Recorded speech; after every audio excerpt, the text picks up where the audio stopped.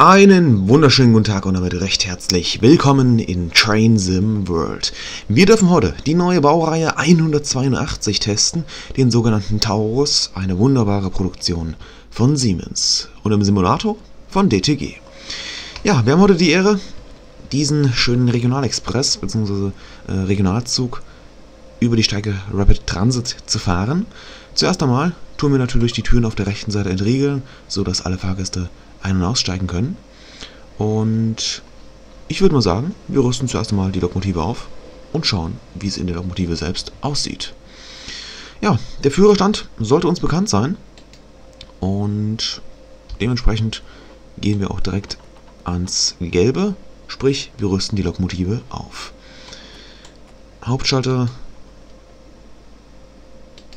Ja, okay, das ist hier jetzt auf jeden Fall ein Fehler. Hier wird angezeigt, dass der Hauptschalter eingeschaltet ist, aber hier unten wird angezeigt, dass der Hauptschalter nicht eingeschaltet werden kann. Normalerweise sollte das blau sein. Aber okay. Das ist jetzt tatsächlich ein Fehler. Na gut. Ähm, ja, die Lokbremse ziehen wir an. Fahrtrichtungssender geht in Vorwärtsstellung. Dann Türen auf der rechten Seite sind noch geöffnet. Das Licht schalten wir uns noch ein. So, zwei Lichter an der Front. Zweimal weiß. Also von der Außenhaut finde ich, ist der Taurus ja so unglaublich schön. Den hat DTG auch im Simulator extrem schön umgesetzt. Die Dachkonstruktion oben sehr realistisch. Auch hier oben die, die Aushöhlung für den Stromabnehmer. Richtig geil gemacht. Also da hat sich DTG wieder sehr viel Mühe gegeben. Na, hier oben. Alles sehr krass umgesetzt. Also da auf jeden Fall Daumen nach oben. 230 km pro Stunde schnell die Lokomotive. Allerdings nur für den Verkehr in Deutschland zugelassen. Eigentlich schade, weil die Taurus-Lokomotiven sind ja wirklich, ja wirklich Universal-Lokomotiven, kann man einfach sagen. Man kann sie vor Regionalzügen einsetzen, man kann sie aber auch in den Fernverkehrsdienst nehmen. Und das Schönste an den Lokomotiven, sie sind auch für den Güterverkehr geeignet. Es sind wahrliche Alleskönner. Ja, die Loszuwagen hinten dran sollen für die Taurus-Lokomotive eine Leichtigkeit sein, die wir in 0, nix auf die entsprechende Höchstgeschwindigkeit beschleunigen können. Und genau dasselbe wollen wir natürlich jetzt auch tun. Deshalb verriegeln wir die Türen wieder und machen dasselbe auch im Führerstand. Das ist jetzt hier ein bisschen ungünstig. Wir starten heute hier in Leipzig-Konnewitz. Die entsprechenden ähm, Bahnsteigskonstruktionen sind uns hier ein bisschen im Weg, was die Kameraführung angeht. Aber das ändern wir natürlich zu unseren Gunsten außerhalb des Bahnhofs.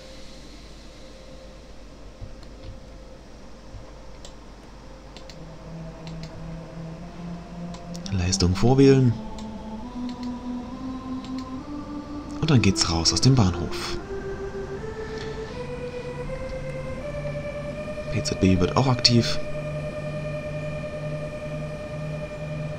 Und wir dürfen mit 60 fahren.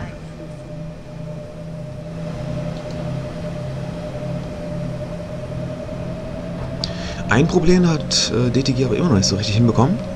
Und zwar unten bei den Achsen entstehen immer noch diese ja, unschärfe Boxen. Sprich, da muss DTG auf jeden Fall nochmal nacharbeiten. Aber das Problem haben wir ja nicht nur bei der Taurus-Lokomotive, das haben wir nahezu aktuell bei allen Lokomotiven im Transim World. Da kann sich DTG wirklich noch ein bisschen ins Zeug legen. Ja, auch gibt es ein Problem, was den Führerstand angeht. Nämlich können wir uns aktuell nicht umdrehen. Sobald ich mich äh, mit der Kamera jetzt hier umdrehen würde oder in den Maschinenraum gehe, was auch sehr schön geworden ist, ähm, ja, kommt es leider zu einem Fehler, dass der Simulator abstürzt. Aber ich bin mir sehr, sehr, sehr sicher, dass DTG da in Kürze nochmal nacharbeiten wird, weil das können die sich auf Dauer auch nicht erlauben mit so einem schönen Add-on und dass man sich dann im Führerstand nicht umdrehen kann. Auf jeden Fall ist im Führerstand wirklich alles modelliert. Wir haben sämtliche Schalter und Bedienelemente, die wir auch in einer richtigen Taurus-Lokomotive bei der Deutschen Bahn AG vorfinden würden. Wir haben das typische Rückpanel, wo wir den Batteriesteuerschalter haben, die Stromabnehmerwahl, die Einstellung für PZB und LZB, die entsprechenden Störschalter. Wir haben die Lichtkonfiguration auch auf der Rückseite mit. Also wirklich alles, was ihr dort bei der Taurus entsprechend findet. Wir dürfen zuerst einmal auf 80 km pro Stunde beschleunigen und halten gleich an der oder an dem Haltepunkt Leipzig Mitteldeutscher Rundfunk, kurz MDR. Das Sky-Signal vor unserer Nase sagt auch schon Halt erwarten. Dann bremsen wir äh, entsprechend runter. Verkürzter Bremsweg, also gehen wir ein Stückchen stärker in die Bremsen.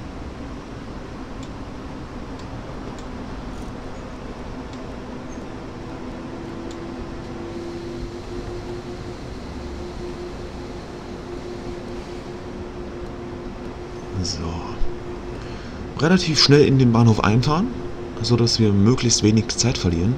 Denn die haben natürlich auch einen Fahrplan einzuhalten und all die Passagiere möchten auch früher oder später möglichst pünktlich an ihrem Ziel ankommen.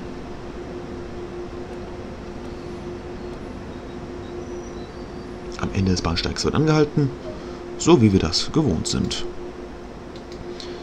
Ja, wir können natürlich auch im Führerschein das schöne Fensterchen runter machen und Türen auf der rechten Seite entriegeln. Hinten werden wir gleich alle Fahrgäste ein- und ausströmen sehen. Und da steht sie. Der Koloss auf Schienen, die 182 von DTG. Ja, ich würde mal sagen, die Fahrgäste haben jetzt genug Zeit gehabt. Es tummelt sich hier eine, eine wahrliche Menschenmasse am Bahnsteig. Wir die Türen schon wieder schließen. Rechts verriegeln. Türen gehen zu. Die Drittstufen äh, waren an der Stelle jetzt nicht ausgefahren. Ist aber auch gar kein Problem. Die braucht man bei so kurzen Abständen eigentlich nicht. Wir wechseln wieder in den Führerstand, lösen hier die Bremse und dann geht's los.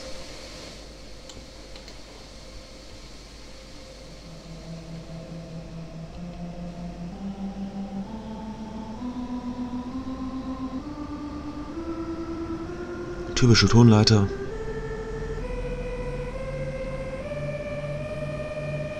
Aber ich muss sagen, mit der Tonleiter vom Taurus hier im, im Simulator bin ich noch nicht so ganz zufrieden.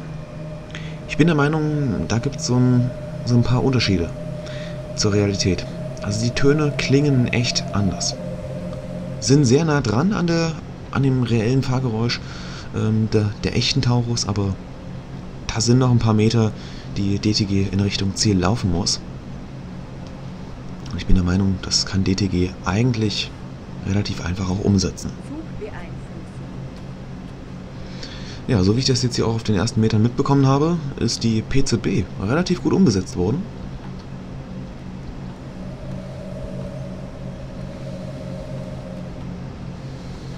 Also das hat DTG scheinbar auch gut hinbekommen.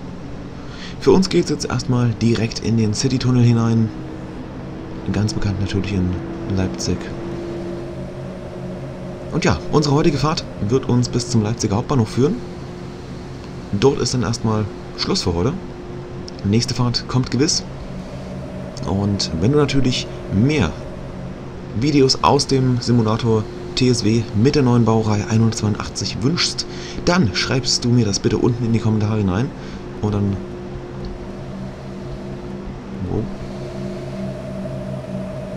Ja genau, dann schreibst du mir das unten in die Kommentare hinein und wenn sich entsprechend genug Interessenten finden, wird es natürlich weitere Videos geben. Hinterlass mir natürlich auch gerne einen Daumen nach oben, wenn dir das Video gefällt und dann hoffe ich, dass wir uns bald wiedersehen. Keine Angst, das Video ist an der Stelle nicht zu Ende, wir fahren noch ein paar Meterchen, aber am Leipziger Hauptbahnhof würde ich sagen, ist für heute dann erst einmal Schluss. So, im City-Tunnel müssen wir jetzt ein bisschen mit dem Licht spielen, was hier im Führerstand alles angezeigt wird. Draußen das Licht wollte ich jetzt eigentlich nicht deaktivieren, aber ich wollte es dimmen. So, Türen auf der ja, Fahrtrichtung linken Seite entriegeln. Da muss man immer noch mal ein bisschen gucken. Oh, dieses schöne Verkehrsrot. Ja, das ist auch ein bisschen ungünstig bei der Strecke Rapid Transit, dass man manchmal mit der Kamera außerhalb des City-Tunnels platziert wird und dann hat man hier entsprechend diese, ja, sag mal, schwarzen Boxen drumherum. Ja, die Dostro-Wagen werden im entsprechenden Add-on auch mitgeliefert. Und aktuell sind Szenarien für, wie gesagt, die Strecke Rapid Transit vorhanden. Ähm, sehr, sehr, sehr viele natürlich auch im freien Spielmodus. Sprich so, dass man mehr oder weniger das Fahrterlebnis selbst gestalten kann. So, alle Fahrgäste scheinen eingestiegen zu sein. Dann Türen links wieder verriegeln. Die schließen sich wieder. Und, ach ja, das habe ich vergessen. Wir müssen im Führerstand selbst hier nochmal den Verriegeln-Schalter einlegen.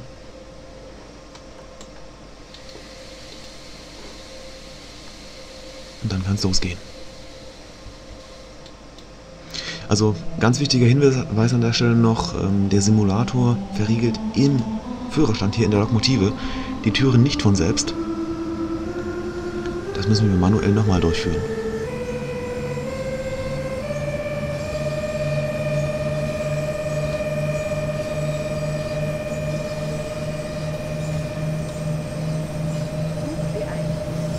Ja, die Lokomotive sagt Zugbeeinflussung.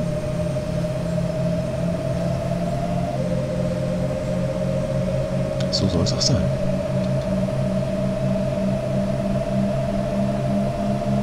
So, ich glaube, nächster Halt ist dann...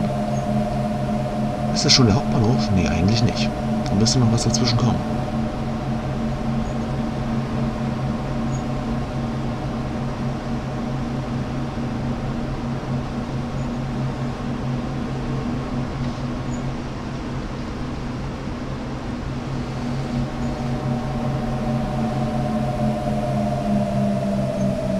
Taurus bremst auch wunderbar. Das Beschleunigungsverhalten auch sehr gut simuliert.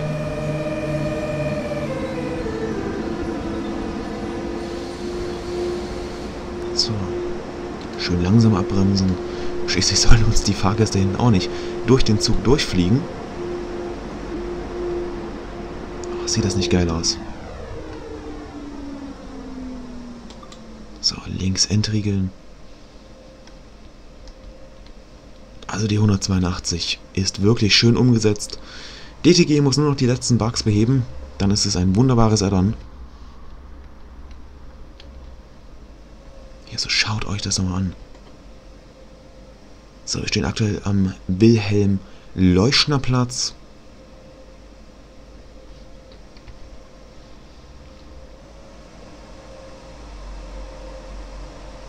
DB.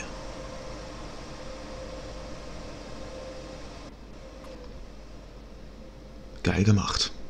Sehr geil. So, Türen wieder verriegeln. Das typische Spiel im Personennahverkehr. Ja, auch diese riesigen Treppen. Gut, die Rolltreppen sind jetzt nicht animiert. Beziehungsweise sind abgeschaltet. Ja, die Leipziger sollen heute laufen, ne? Tag des Sports. Gut, dann legen wir los. Beziehungsweise legen ab. Auch wenn wir kein Schiff sind, aber wir legen ab. So feucht, wie das in den Tunneln Leipzigs ist. Da kann man ruhig schon von Ablegen sprechen. Ach. Das habt ihr jetzt nicht gesehen.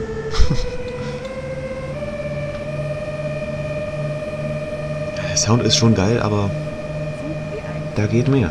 Da geht mehr.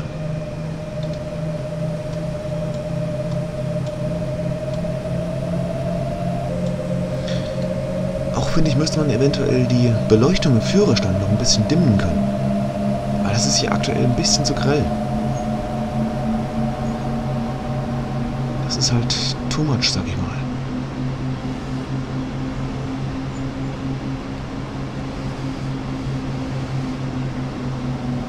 Oh, wunderbar. Wie dieser Bahnhof ausgeleuchtet ist, das ist geil. Wir müssen ein bisschen stärker abbremsen.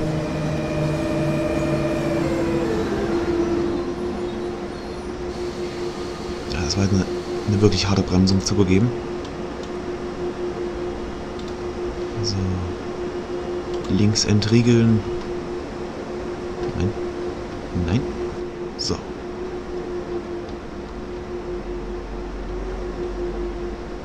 Oh, ist doch klasse, oder? Also für den Taurus kann ich aktuell ja eine Kaufempfehlung aussprechen. Eventuell würde ich sogar noch ein bisschen warten trotzdem. Weil ich würde gerne sehen, ob DTG eben diesen Bug behebt. Ich bin sehr, sehr, sehr davon überzeugt, dass es DTG machen wird. Ansonsten wird das Addon auf lange Zeit nämlich gar keine Chance haben auf dem Markt. Ähm, man muss einfach durch den Führerstand äh, komplett gehen können, ohne dass da der TSW sagt, äh, ich stürze jetzt mal ab. Ich bin wirklich fest davon überzeugt, dass es DTG verändern wird, aber vielleicht noch ein, zwei Tage warten und dann, dann sagen, okay, jetzt schlage ich zu. So, wir können die Türen wieder verriegeln und im Führerstand nicht vergessen, entsprechend das Verriegeln noch einstellen, Bremse wieder lösen, dann geht's weiter.